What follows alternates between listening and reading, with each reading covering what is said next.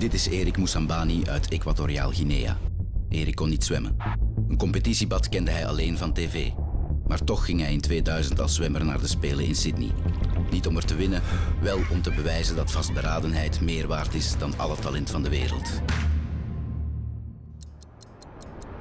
En dus dook Erik in het zwembad. En al won hij geen medaille, toch was het zijn grootste overwinning. Granny. Alles om er voluit voor te gaan.